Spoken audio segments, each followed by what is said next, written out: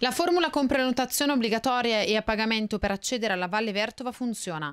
Nei weekend si raggiunge il numero massimo stabilito di 1400 persone già dal mattino. Eh, la gente comincia ad abituarsi e noi, eh, oltretutto, come avevamo promesso, ogni anno mm, eh, mettiamo delle migliorie.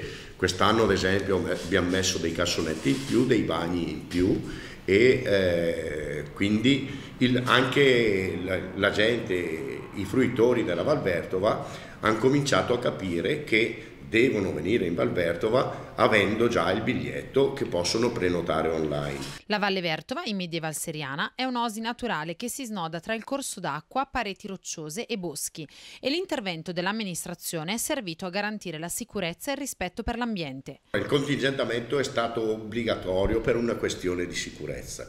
Perché? Perché prima eh, c'era gente che arrivava senza prenotazione così e entravano, quando, quando arrivavano entravano e ci siamo trovati 3.000-3.500 persone eh, contate col contapersone che si trovavano in, nella Valvertova, che è bellissima, ma come è bellissima è anche molto pericolosa, nel senso che poi la gente, anche con i bambini, si ammassavano in certi punti, nel momento in cui viene un temporale eh, un po' più, eh, più intenso del solito, la Valvertova nel giro di 10 minuti si esonda e non dà più la possibilità di tornare indietro fino a quando non defluisce l'acqua. Ricordiamo che la strada d'accesso è interdetta a tutti i mezzi non autorizzati.